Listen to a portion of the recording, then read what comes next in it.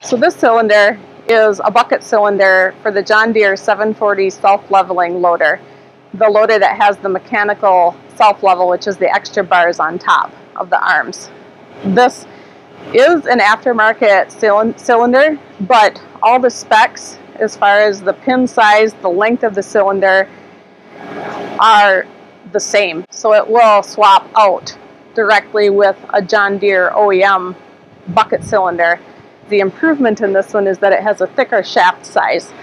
The shaft on the original John Deere OEM cylinders is one and a half inches, which of course leads to bending often in various situations. This one has the one and three quarter inch shaft, which is much better for preventing bending.